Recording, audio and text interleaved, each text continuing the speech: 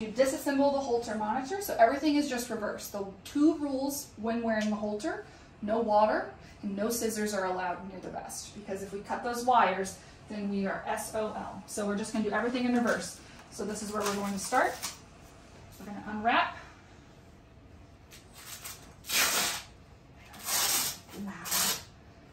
Unwrap. We'll take our device off. Thank you. And then he can step out whenever he's comfortable. We'll take the vet wrap off. This again just unwraps.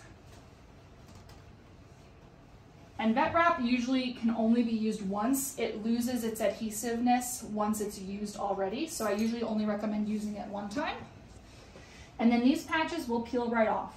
If there's any resistance, I usually just keep my thumb very close to the skin so that way I don't put too much tension on their skin just like taking off a band-aid. If they're very, very sticky, you can use um, a little bit of oil. Um, sometimes there's professional removers as well, but honestly, anything with a little bit of surfactant in it, Dawn dish soap or oil will work as well. So those all just come off. Thank you. And then if there ever is anything that's concerning to you as the owner when your dog is wearing a Holter monitor, you can actually access this device at any time and you hit the green button and it tells the reader there's been an event of some kind.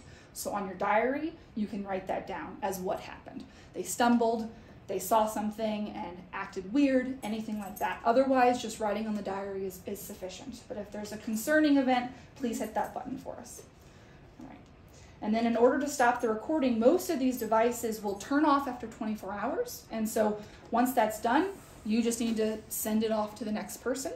If we need to stop the recording prematurely, we just take the battery out and it'll turn off and the memory should all be saved on the disk. So again, opening that latch, remove the card.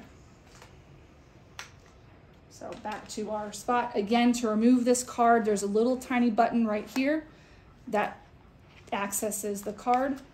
The device has shut off and now the information is stored on your card.